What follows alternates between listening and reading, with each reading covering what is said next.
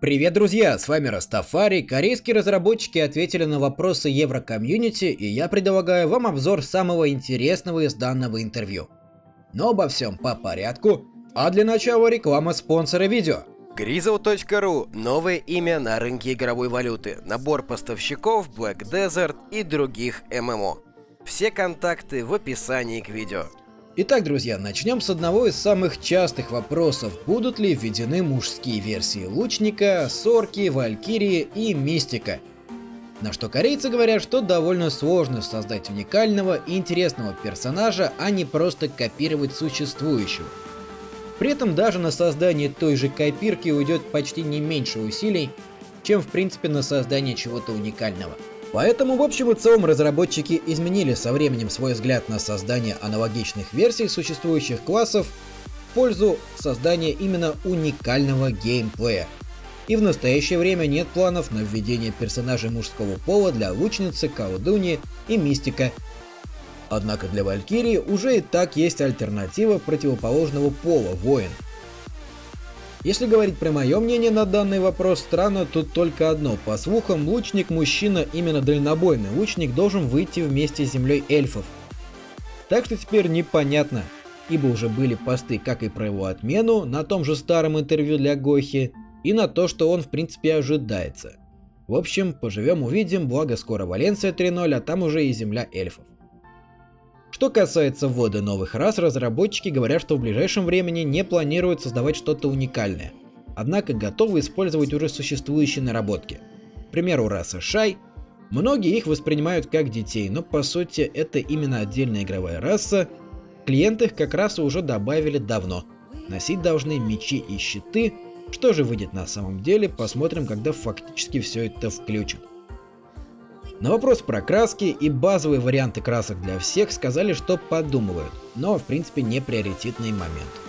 Что касается ввода саппортов и хилов, корейцы говорят, что игра сама по себе построена на комбо-боевке, уникальной в мире ММО, и не ставит игрока в ограниченные рамки. Как пример, тот же волшебник, который может и бафать, и хилить, но не хуже умеет и дамажить. Такой подход позволяет создавать уникальный и интересный геймплей, не ограничивая в его разнообразии и ролях как в группе, так и в гильдии. Касательно расширения территорий, кроме будущей части Медии, земли эльфов и дворфов, и того, что нас ждет в дальнейшем, корейцы сказали, что еще много частей текущего контента закрыто туманом. Юг Кальфиона, Медия, часть Валенсия – эти зоны будут добавлены не только ради новых локаций, но в первую очередь вместе с необычным и уникальным контентом – как пример, третья часть Валенсии, которая будет в основном посвящена именно морскому контенту, морской торговле и сбору там же в море. Корейцы обещают, что эта часть будет кардинально отличаться от обычной боевки. Чуть позже на вопрос по морскому контенту дали еще чуть-чуть подробностей Валенсии 3.0. А именно, они сейчас работают над реализацией системы морских PvP сражений. И нас ждут парусники и другие крупные корабли различного назначения. В общем и целом ждем какой-то архейдж в мире BDO. Ставь лайк, если хочешь для начала нормального взаимодействия воды с моделькой, а не гири, падающие на дно при касании с водой. На вопрос же про улучшение соло PvP и каких-то ПВП ladder ов с аренами, а также своеобразной уравниловки в них, но именно для киберспортивного будущего игры корейцы сказали, что на данный момент есть более приоритетные задачи – к этому вопросу они приступят уже после запуска и доработки игры по всему миру. А улучшение соло и пати PvP, вспоминаем старые арены в Альтинове, уже вовсю в разработке. ГВГ же составляющая их более-менее устраивает, хотя они ее всегда пытаются улучшить. К сожалению, почему-то большая часть этих улучшений, а как кланвары со ставками из гилд казны, которые давно уже есть на Корее, к нам почему-то не добавляют. Отдельным блоком стоит выделить вопросы про боссов, рейды и в целом PvE контент. Многих интересует судьба мировых боссов титанов, Огр-мутант, Тролль-мутант, Древний Атор, ну огромный босс в пустыне Валенсии, который пока что доступен только как часть квестовой цепочки, а также какой-то лесной титан, возможно это огромное дерево из леса Кальфион.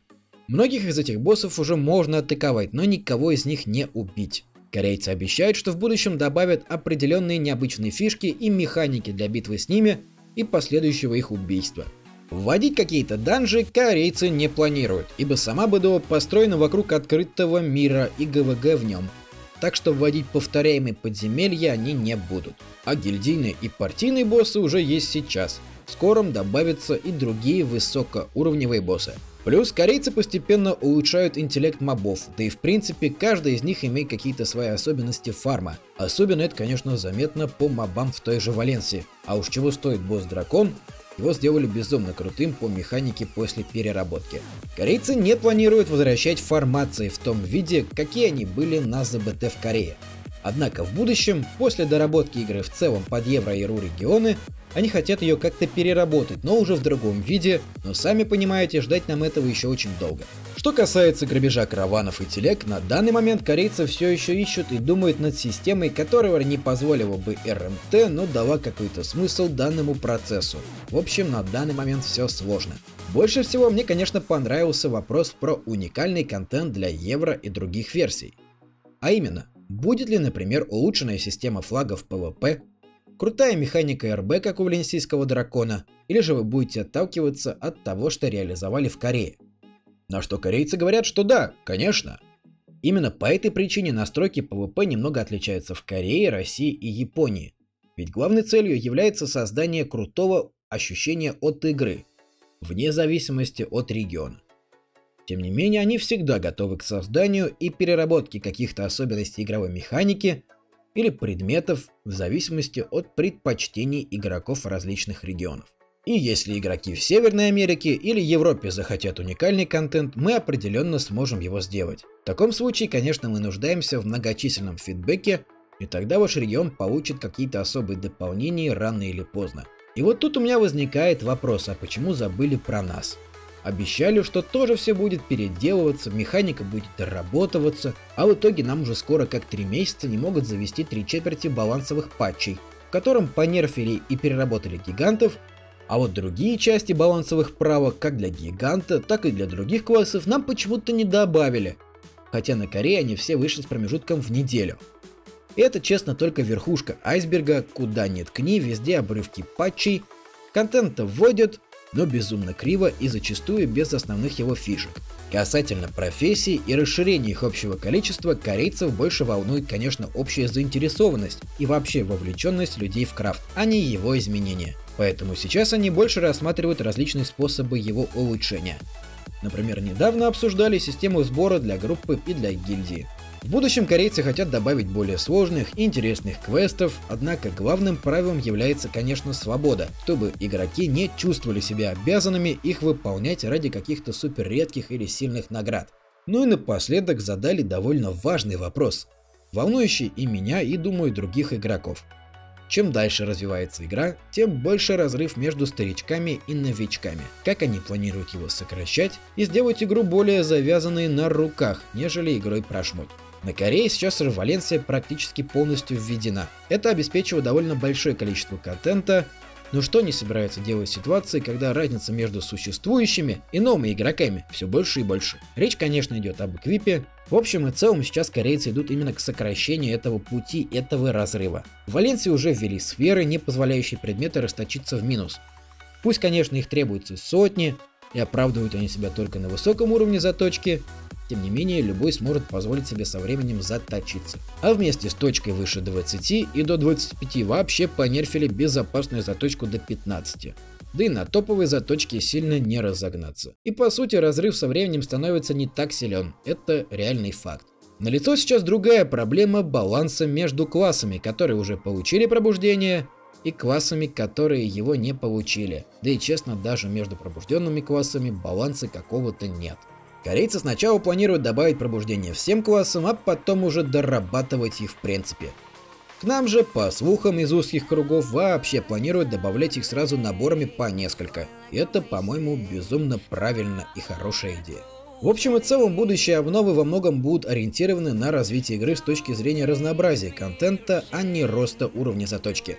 Кроме того, на какое-то время отказались от введения полноценного нового сильного эквипа в каждой обнове ибо игроки этого хотят, конечно, но с каждой обновы это бы вносило все больше и больший дисбаланс. Так что сейчас усилия разработчиков направлены именно на балансировку и доработку текущих механик, а также создание более разнообразного и интересного контента помимо гринда.